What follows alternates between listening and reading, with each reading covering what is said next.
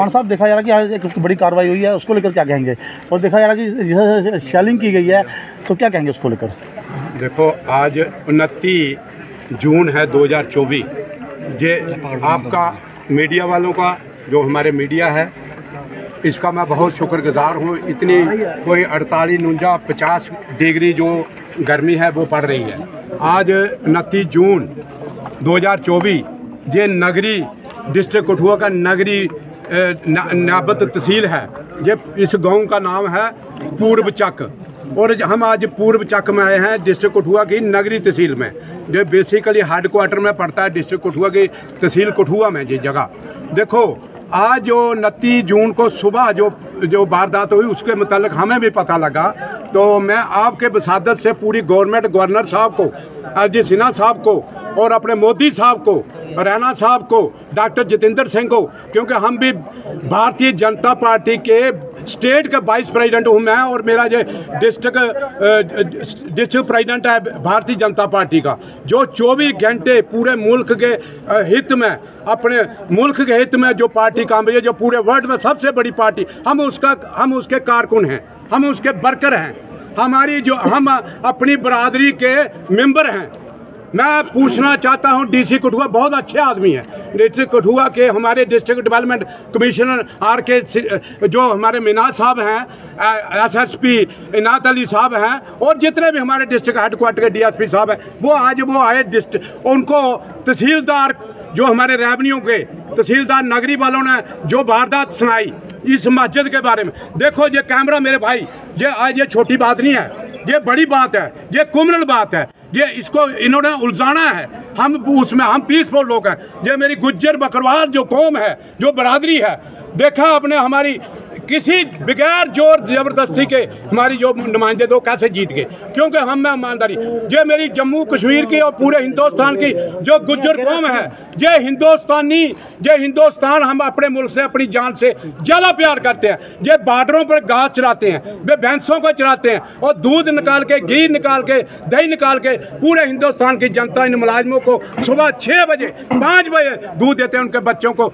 दूध पियो, उनकी माँ नहीं देती। उस उस टाइम छह बजे पाँच बजे। उनकी माँ दूध नहीं देती लेकिन मेरी बरादरी पूरा अपनी ईमानदारी से दे, देती है। कौन अफसर है जिसने भैंस रखी है? ये भैंस का गरीब आदमी अनपढ़ आदमी इन्होंने पूरी ज़िंदगी इसी में दे दी। देखो 2010 का ये काम लगा है। दस साल पुरानी ये अल्लाह का भगवान का राम का गुरु नानक का ये सबका एक ही मकसद है ऊपर वाला एक ही है खुदा। ये खुदा का घर है।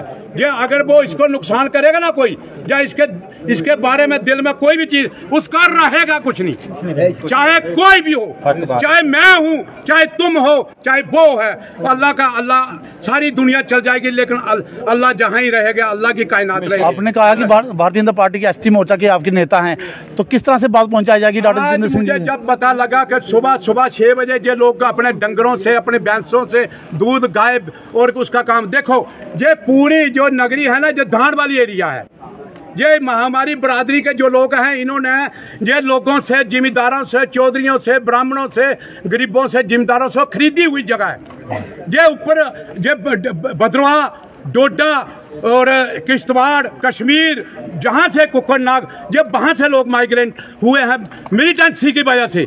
उधर से उन्होंने मारा उन्होंने खत्म किया, इनके माल मवेशी बकरियाँ खाई। इधर इन्होंने जो अपना जो अपना गहना, गट्टा, जो भी है, इन्होंने सब अपना बेच के, ये थोड़ी थोड़ी ज़मीन ली, उन्नीस सौ अठासी में जब फ्लड पड़ा।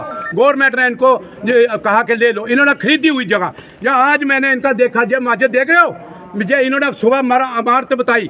इमारत नहीं, ये मस्जिद है पूर्व की और 10-15 साल पुरानी है। इसमें कोई प्लस्तर कोई मिस्त्री कोई आप पूरा दिखाओ और पीछे देखो।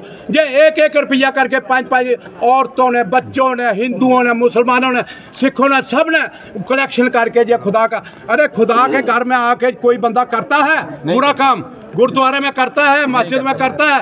हमारी कौम जो मुसलमान कौम है किसी से नहीं डरती। सिर्फ़ एक गोला तलवार बंदूक सिर्फ़ एक चीज़ से डरती है जे जो नमाजी आदमी होते हैं ना सुबह और शाम हाँ। ये उसके बारे में कभी बुरा नहीं सोचते जे। लास्ट में अगर कुछ करना भी हो पंगा ये कहते हैं ये कहते हैं कि ये नमाजी आदमी है दीनी आदमी है इसका बुरा नहीं। इस घर में जो भी आता है ना हमारा लास्ट स्टेज मरने से पहले अगर हमारा इसको कोई नुकसान देगा तो हम इसके बारे में हमें बर्दाश्त नहीं। ना हम हम हम सारे हिंदू मुसलमान सिख ईसाइयों से कहते हैं अब इन गरीबों के बारे में डीसी साहब को रिक्वेस्ट करते हैं कि ऐसा बेटा उधर से हमारी यात्रा आ रही है।